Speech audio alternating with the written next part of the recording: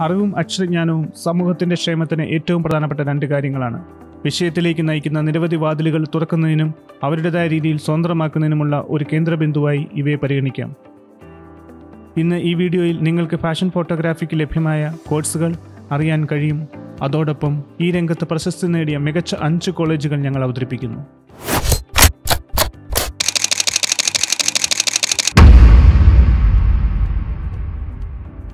ഫോട്ടോഗ്രാഫിയെക്കുറിച്ച് കൂടുതൽ അറിയാനുള്ള ഒരു പ്ലാറ്റ്ഫോമായ ഫോട്ടോമെന്റർ ചാനലിലേക്ക് വീണ്ടും സ്വാഗതം. ഫാഷൻ ഫോട്ടോഗ്രാഫി പഠിക്കാൻ പന്ത്രണ്ടാം ക്ലാസ്സിന് ശേഷം പ്രൊഫഷണൽ ഫോട്ടോഗ്രാഫി കോഴ്സിനായി ഡിപ്ലോമ കോഴ്സുകൾ തിരഞ്ഞെടുക്കാൻ കഴിയും.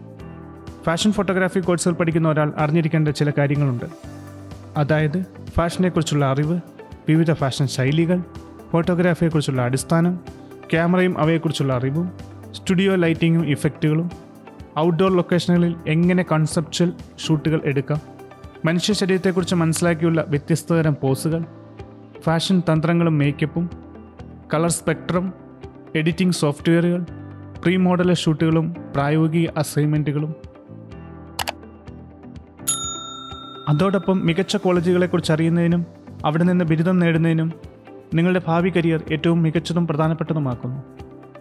അതിനാൽ ഫോട്ടോമെന്റർ സർവേ അടിസ്ഥാനമാക്കി ഇന്ത്യയിലെ വിവിധ സംസ്ഥാനങ്ങളിൽ സ്ഥാപിതമായ മികച്ച അഞ്ച് കോളേജുകൾ ഇൻസ്റ്റിറ്റ്യൂട്ടുകൾ അല്ലെങ്കിൽ അക്കാദമി എന്നിവയെ ഞങ്ങൾ നിങ്ങൾക്ക് പരിചയപ്പെടുത്തുന്നു.